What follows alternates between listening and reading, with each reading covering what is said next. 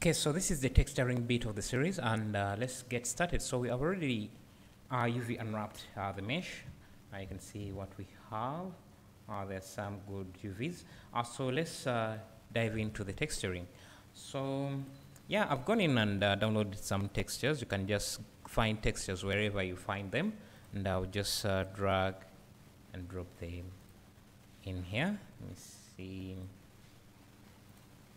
So just use one single texture and I will uh, separate the channels for different uh, uh, maps. so you can see this is our shoe. It looks quite good, I think. So we can connect the color, the base color, to the color. You can see the UV is a bit, uh, the texture is, is too large right now, so I can use Ctrl T uh, to bring the mapping. Uh, make sure you have the node Wrangler add-on turned on for this. Uh, we can uh, scale this texture up a bit. I think that's a good uh, size. Uh, we can come in to the render settings, turn on ambient occlusion, and uh, turn on uh, screen space reflections. so we have something like this.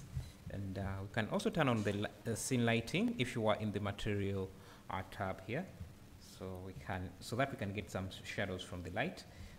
so yeah, we need a color map. So we need a reflection map from this. Uh, so I can just add a color, vect convert color ramp. I connect this color. Uh, so to preview the results of this, I can just use Control Shift click, and then I can see the map here.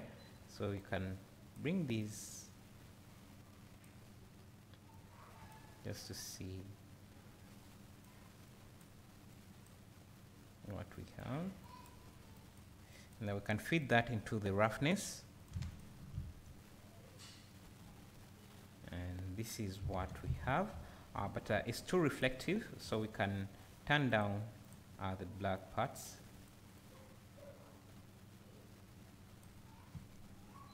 Let's see. Let me see how this map looks. It does need a little bit more contrast I think. So let's see. But uh, it shouldn't be that reflective so we can turn this even further down something like that. And now we need another map for the bump maps.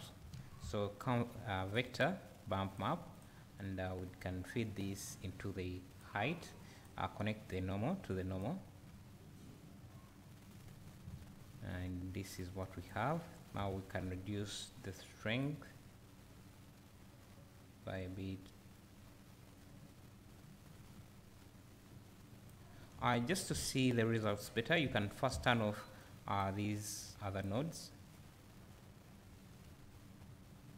See I think this is fairly good for the bump map. Ah, this is good. And uh, we can also add the ambient occlusion, uh, ambient occlusion node. Uh, this will also affect uh, the bump mapping, give it more details. So if we add a color mix RGB, uh, connect the ambient occlusion and change the, the blending mode to multiply, uh, increase the factor to one, connect this to the color, can see how the bumps get more detailed. Uh, so uh, if you want more ambient occlusion, you can just come in here and uh, increase uh, the distance here. And uh, if you want more control, you can also add a convert color ramp in between there uh, so that you can make more changes like that, give it more contrast. Because you don't want to push it too much otherwise it will not look as realistic. Uh, so we have uh, something like that. Uh, so we can bring in the color uh, but uh, we can just feed it to the top color node like that. So that is multiplied over over this uh, over the bump map over the ambient occlusion.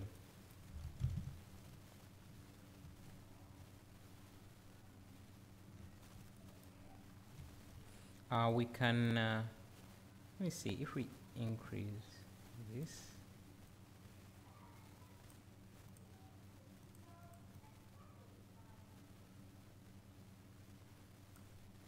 oh, we need this connected to the roughness.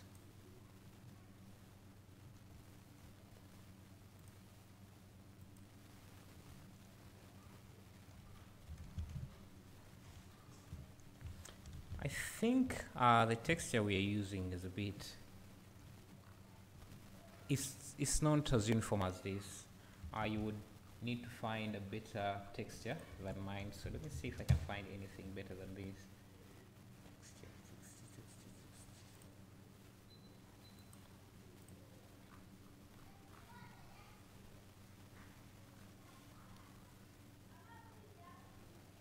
I have these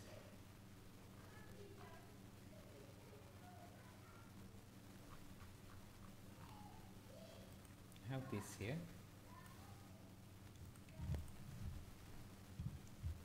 Uh, it's not the kind of texture I want.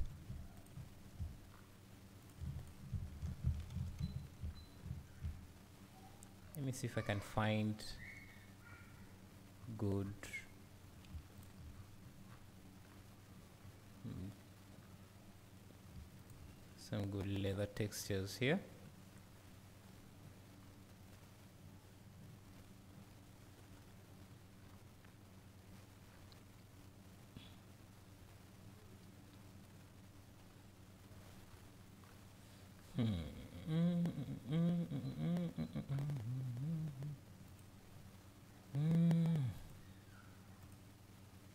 Uh, we can just go with this and uh, maybe we can tweak it later.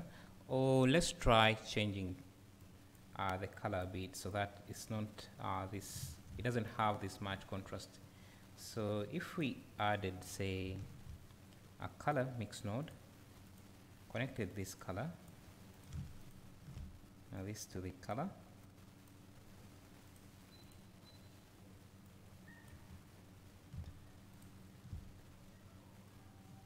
so at zero it's uh, this texture but uh, we want we don't want it to be too powerful so let's uh, let's see if we change this to darken multiply screen. Or we can switch this around give this that brownish color. Just pick it directly there. So this so that that detail doesn't come in too much. Let's see overlay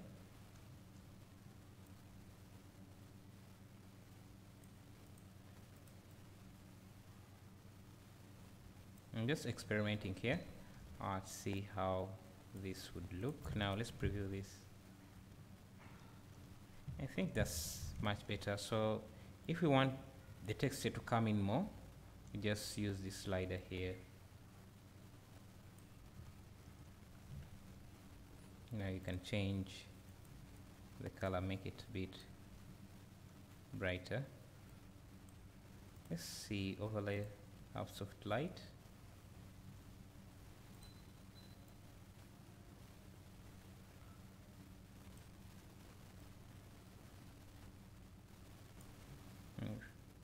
it really looks good in black. But, uh, let's see. But we still want that color to come through. That texture uh, to come through. Maybe around there.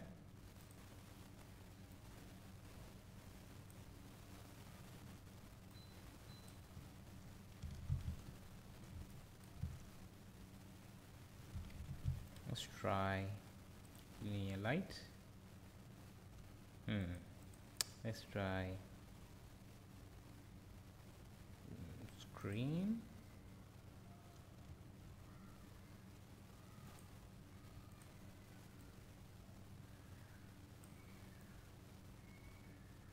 Hmm. I think that's a good tone color tone. So have that. Uh, so we can come in and uh, set up our lighting. So I'll just add an HDRI image. So let me find one.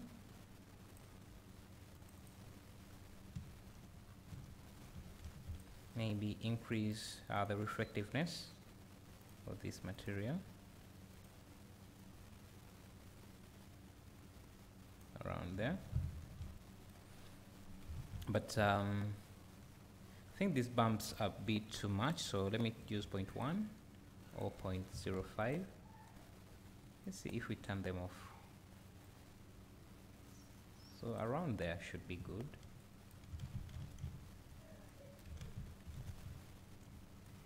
And uh, we can select uh, this part here give it a new material.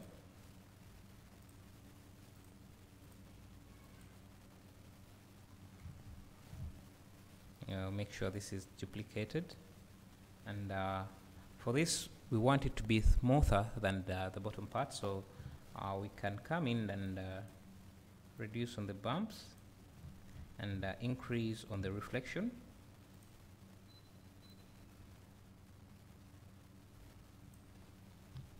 and maybe change the color a bit here.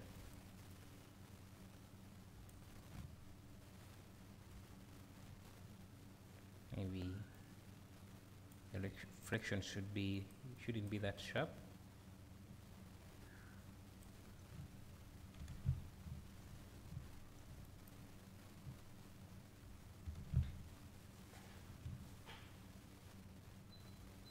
And I can select uh, this bottom part control L. I'll give it the same another material as well. Just the same but uh, modified a bit.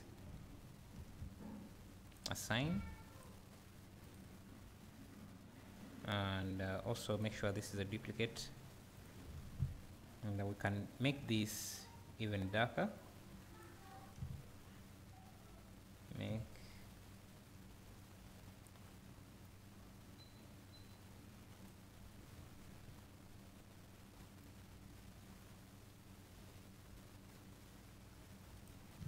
and increase the bump strength.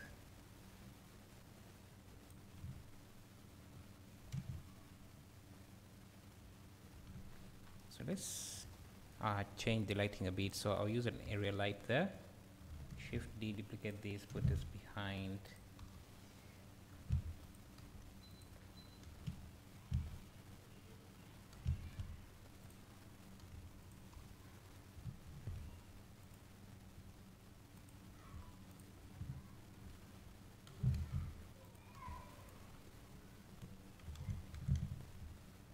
think the texture here is a bit too large for that area so uh, let's try making it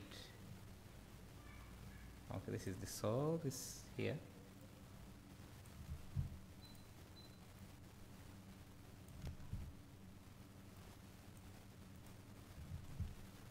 Let's try making it 5 5 and 5 and uh, we can reduce uh, the color there. Maybe make it a bit browner. You can see we are missing a few details uh, like these uh, stri strips bootstraps. Uh, I think I'll do that in a different part. Uh, but uh, for now this is what we have. And for the inside I think this is a separate mesh uh, too, Control L.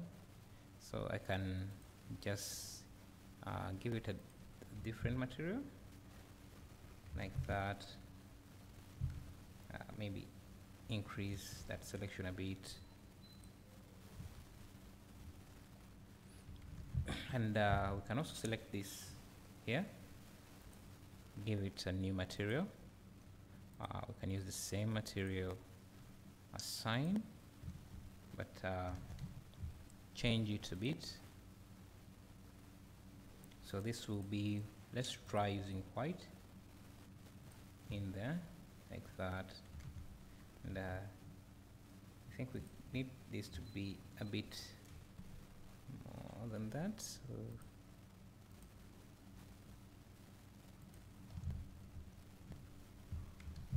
Have something like that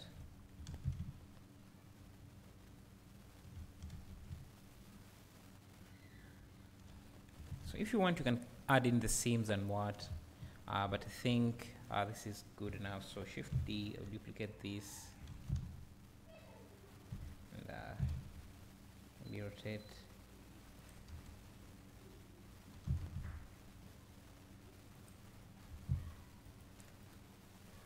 I can also center the origin origin to geometry of this